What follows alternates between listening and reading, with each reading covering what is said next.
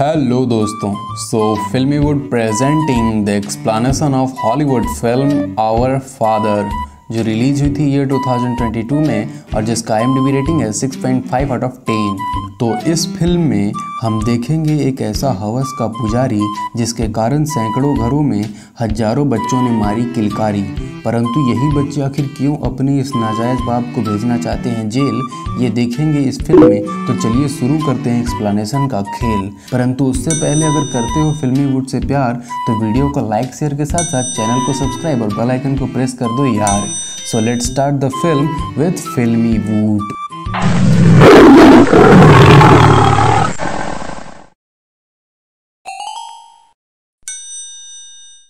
तो film start होता है और हम 35 साल की जोगटी को देखते हैं, जो अपने माता पिता से अलग दिखती थी। इस वजह से वो ये सोचती थी कि शायद उसे गोद लिया गया था। जब वो बड़ी होती है तो अपनी मॉम से इस बारे में पूछती है। तब उसे उस सच का पता चलता है, जिसकी उसे उम्मीद तक न थी। दरअसल जोगटी के पिता रंडुआ होते हैं वो बच्चे पैदा करने में असमर्थ थे वो नामर्दी के साक्षात शिकार थे और उस टाइम इसका कोई इलाज भी नहीं था। लेकिन उस टाइम डॉक्टर डोलांड क्राइम काफ़ी फ़ेमस डॉक्टर हुआ करते थे।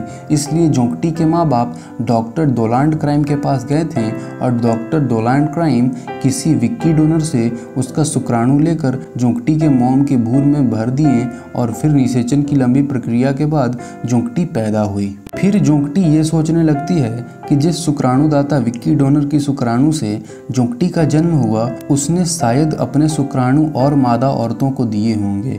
इसलिए शायद जोंकटी के और भाई बहन भी इस संसार में जीवित हों। इसलिए वो अपने भाई बहन को ढूँढने में लग जाती है। जोंकटी डॉक्टर दोलांड क्राइम के पास भी जाती है और उस शुक्राणुदाता विक्की डोनर के बारे में जानने की जिज्ञासा प्रकट करती है, जिसके शुक्राणु से जोंकटी का जन्म हुआ है। ये सुनकर डॉक्टर दोलांड साफ़ साफ़ मना कर देते हैं, जिससे जोंकटी काफ़ी निराश हो जाती है, पर तभी उसकी नज़र दूरदर्शन पर चल रही है एक विज्ञापन पर जाता है, जहाँ डीएनए टेस्ट और जेनेटिक्स के बारे में बता रहे थे। जोंकटी ये देखकर चमत्कार चमत्कार चिल्लाने लगती है और अपना डीएनए सैंपल उस वेबसाइट पर शेयर कर देती है। यहाँ जोगटी जो देखती है, उसका होश उड़ा देता है। दरअसल यहाँ जोगटी का सैंपल सात लोगों से मिल जाता है। इसका मतलब था कि जोगटी के सात भाई बहन इस संसार में ज़िंदा घूम रहे थे। ये चौंकाने वाली बात इसलिए थी क्योंकि एक शुक्राणुदाता सिर्फ़ तीन बार ही शुक्राणुदान कर सकता था।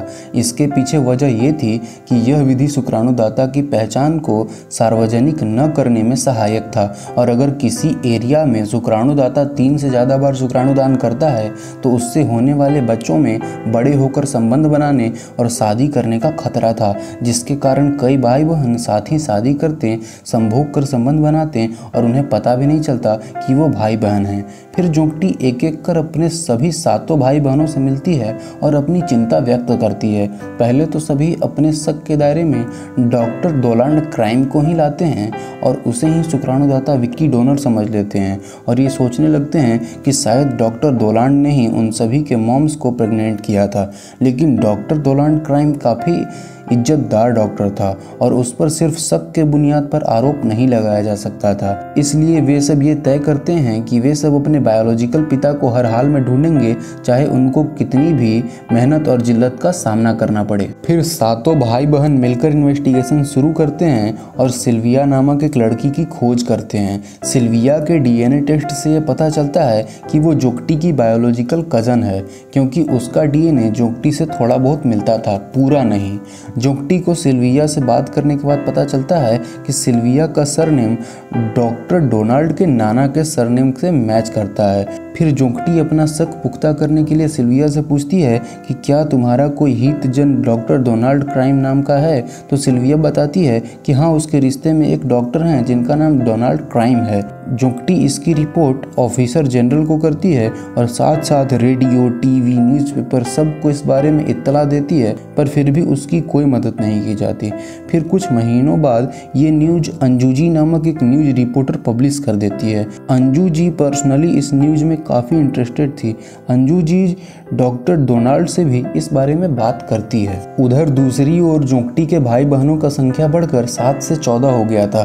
चौदहवीं लड़की जूली थी। जूली का हस्बैंड हमेशा कहता था कि हम दोनों एक जैसे दिखते हैं। जब जूली ने अंजू जी का न्यूज़ देखा तो उसने अपने मॉम से इस बारे में पूछा। तब जूली की मॉम ने कहा कि हाँ हमने अपना इलाज डॉक्टर डोलान से करवाया ज़रूर था, पर तुम जिस शुक्राणु से पैदा हुई हो, वो शुक्राणु तो तुम्हारे बाबूजी का ही था। पर जब जूली ने अपना डीएनए टेस्ट करवाया, तब सब चौंक गए, क्योंकि जूली का डीएनए उसके पिता से बिल्कुल ही नहीं मिल रहा था। परंतु जूली के पति का डीएनए उससे पूरा मेल खा रहा था। अब तक कुल जोंकटी के सत्रह भाई बहन खोजे जा चुके थे। सत्रहवा बंदा था मंटू। जब मंटू की मोम ने डॉक्टर डोलांड से इलाज करवाया था, तब डॉक्टर डोलांड ने मंटू की मोम को आईसीयू में नंगा होकर लेटने को कहा था और कुछ देर के लिए खुद दूसरे कमरे में चले गए और जब बाद में वो आए तो शुक्राणुओं से भरी एक पोटली लेकर आए और मंटू की मोम के भर दिया। पर मंटू को ये बात अब पता चला, जब उसका डीएनए उसके बाप से नहीं, बल्कि जोकटी और जूली से मेल खाता है। अब धीरे धीरे अंजू जी इस न्यूज़ को अपने चैनल पर खूबे चलाने लगी और जोकटी ने भी बाकी भाई बहनों के साथ मिलकर अपनी लड़ाई तेज कर दी। इन सब घटनाओं से शुक्राणुदाता महान Vicky Donor, doctor Donald Cline परेशान हो जाते हैं और न्यूज़ रिपोर्टर अंजू जी और अपने ही शुक्राणुओं से उत्पन्न की बेटी जोकटी को जान से मारने की धमकी दे देते हैं। हालाँकि जोकटी पर इस धमकी का कोई असर नहीं हुआ और वो अपनी लड़ाई जारी रखी। इधर एक के बाद एक करके जोंकटी के भाई बहनों की संख्या बढ़ती ही जा रही थी, पर यहाँ एक बात सामने आई कि जोंकटी सहित सभी भाई बहनों में कोई न कोई बीमारी ज़रूर सामान्य है। किसी को कॉलोनल कैंसर है तो किसी को अनेमिया और किसी को एल्जाइमर और जिन भाई बहनों ने शादी करके संभोग के द्वारा संबंध बनाया, उनके बच्चे तो और भी ज़्यादा बीमार थे जोकटी खुद कई बीमारियों के साथ पैदा हुई थी। और जोंकटी की ही तरह, एक के बाद एक कई बीमार लोग सामने आते जा रहे थे। इससे जोंकटी ने डॉक्टर दोलांड के खिलाफ कोर्ट में केस भी फ़ाइल कर दिया। डॉक्टर डोलांड क्राइम पर छीना, झपटी, धोखाधड़ी और बलात्कार जैसे काफ़ी गंभीर आरोप भी लगे। ये कहानी धीरे धीरे काफ़ी इंटरेस्टेड होती जा रही थी। डॉक्टर डोलांड को लेकर कई लोग अब सामने आने लगे थे और उन्होंने जो बताया वो चौंकाने वाला था। दरअसल डॉक्टर दोलांड चर्च के फाउंडर मेंबर्स में से एक थे। वो बहुत ही खुफिया जीवन जीने वाले और क्रिश्चियनिटी को मानने वाले कट्टर ईसाई थे। वो कुमार वाली मोमेंट नामक क्रिश्चियनिटी कल्ट को फॉलो करते थे। दरअसल इस कल्ट को मानने वाले लोगों का ये मानना था कि जैसे एक ही गॉड से इतनी बड़ी दुनिया बनी है, वैसे ही अगर एक ही पिता से ज़्यादा से ज़्यादा बच्चे हों तो उन पर गॉड का आशीर्वाद बना रहता है। कुछ लोग तो ये भी कहते थे कि डॉक्टर दोलांड एक जातिवादी व्यक्ति है। वो बाकी जातियों से नफरत करता था। डॉक्टर दोलांड सिर्फ़ ईसाई नस्ल के बच्चों को पैदा करना चाहता था और एक तरह से जितनी भी औरतें उसके पास आती थी, वो उन सब पर एक्सपेरिमेंट करता था। अब इन तथ्यों को सबूत और गवाह के तौर पर कोर्ट में पेश किया जाता है, जिससे डॉक्टर दोलांड क्राइम के फंसने के पूरे चांस थे। लेकिन डॉक्टर दोलांड भी अपनी पूरी ताकत लगा देते हैं और जज वकील सबको खरीद लेते हैं। डॉक्टर दोलांड पर काफ़ी बड़ा केस था और उम्मीद थी कि उसे कड़ी से कड़ी सजा होगी, लेकिन कोर्ट ने सिर्फ़ 500 डॉलर का जुर्माना लगाकर उसे छोड़ दिया। कोर्ट के इस डिसीज़न से जोंकटी के कई भाई बहनों की हिम्मत टूट गई और वो लोग सब कुछ भूलकर अपनी लाइफ को वापस से इंजॉय करना शुरू कर दिए। हालाँकि जोंकटी सहित कुछ भाई बहन अपनी लड़ाई आज भी जारी रखे हुए हैं और अभी तक उनके चौरानवे भाई बहन मिल चुके हैं और अभी भी जारी है। डॉक्टर दौरान क्राइम की उम्र लगभग 80 साल हो चुकी है और वो अभी भी ज़िंदा हैं और अभी भी इंडियाना में ही रहते हैं। और इसी के साथ इस डॉक्यूमेंट्री फ़िल्म का एंड हो जाता है और फ़िल्म डॉक्टर दोलांड के दर्द को बयां करते हुए एक कविता छोड़ जाता है। कि मेरे नाजायज बच्चे कहते हैं कि मैं डॉक्टर नहीं, भांड हूँ। किसी भी मादा में अपने शुक्राणु झाड़ने वाला पागल सांड हूँ। पर सच कहूँ तो तुम नहीं छीन सकते मुझसे मेरा हुनर है मेरे बच्चों, क्योंकि मैं शुक्राणु रूपी अमृत से भरा आंड हूँ।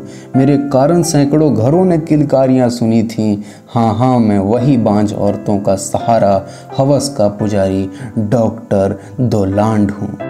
सो डियर कैसी लगी आपको ये सच्ची घटना पर आधारित डॉक्यूमेंट्री फ़िल्म कमेंट करके ज़रूर बताएँ। अगर वीडियो पसंद आया हो तो लाइक और शेयर के साथ साथ चैनल को सब्सक्राइब और बेल आइकन को प्रेस ज़रूर से ज़रूर और जल्द से जल्द कर दें। और कमेंट करके ये बताएँ कि आगे कौन सी मूवी की सील तोड़ी जाए और कौन सी मूवी की डीएनए टेस्ट की जाए। तो फिर मिलेंगे ज़िंदगी किसी नए मोड़ पर। तब तक के लिए गुड बाय